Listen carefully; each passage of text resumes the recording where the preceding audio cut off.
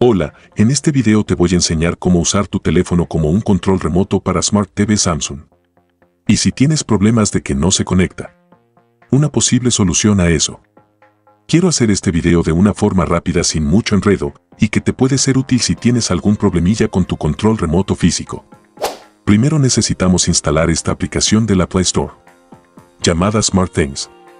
Es la app oficial de Samsung de control remoto.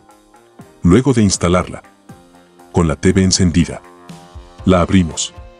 Le damos a siguiente y los permisos necesarios que nos pida. Vamos al apartado dispositivos. Y añadir dispositivo. Te pedirá iniciar sesión con la misma cuenta de correo que tienes en tu televisor de tu cuenta Samsung.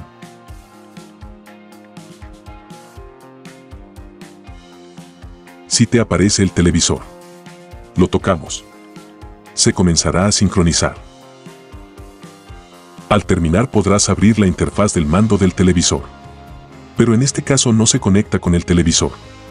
Este es un modelo de Smart TV que tiene unos años. Así que lo que yo hice fue descargar una versión de la app más antigua. En internet puedes encontrar versiones anteriores a PK. Yo instalé una versión del 2022. Ahora al abrir la aplicación y luego de iniciar sesión con la cuenta de Samsung. En esta ocasión no reconoció automáticamente el televisor. Le damos a añadir dispositivo. Buscar dispositivo cercano. Aquí apareció. Le damos.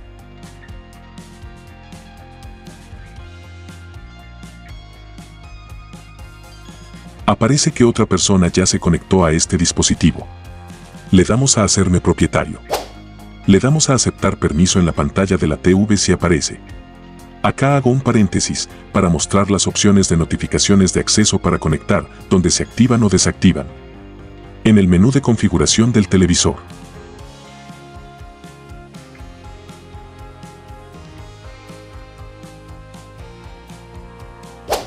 Volviendo a donde estábamos te aparecerá un código PIN de vinculación en una notificación en el televisor, que ingresaremos en la app que no las pide.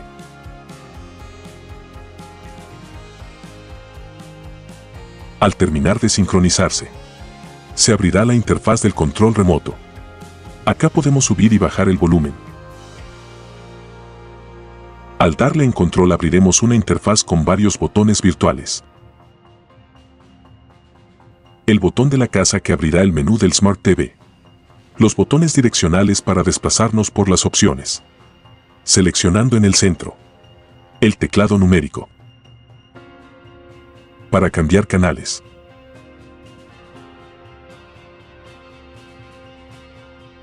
El menú de las aplicaciones que tienes instaladas en el televisor.